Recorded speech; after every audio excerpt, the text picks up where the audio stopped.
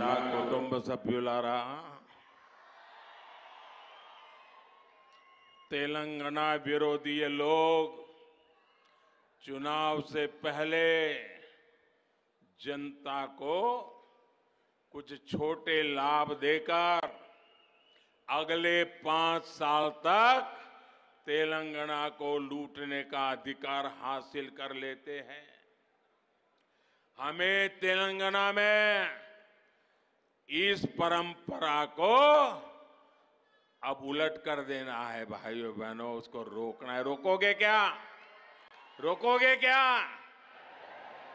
तेलंगाना के भाइयों बहनों, मुझ पर पाँच साल भरोसा करो, ज़्यादा नहीं कह रहा हूँ। पाँच साल भरोसा करो।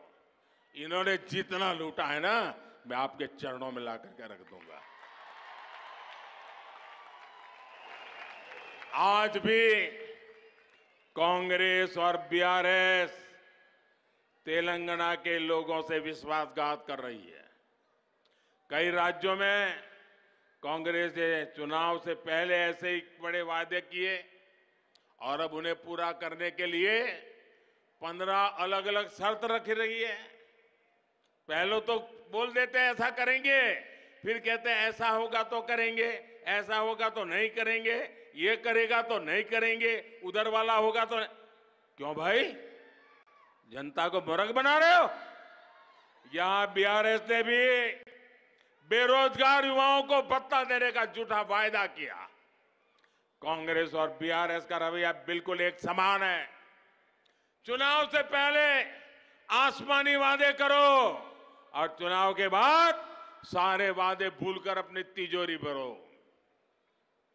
నా కుటుంబ సభ్యులారా बीजेपी का ट्रैक रिकॉर्ड अपने वायदे पूरे करने का है पिछले कुछ महीनों से आप सब देख रहे हैं कि केंद्र सरकार लाखों युवाओं को नौकरी देने के लिए रोजगार मेले का आयोजन कर रही है इसकी घोषणा पिछले साल हुई थी इस मेले के जरिए देश के हर कोने में लाखों युवाओं को सरकारी नौकरी के नियुक्ति पत्र पब्लिकली नियुक्ति पत्र देने का काम हमने किया है।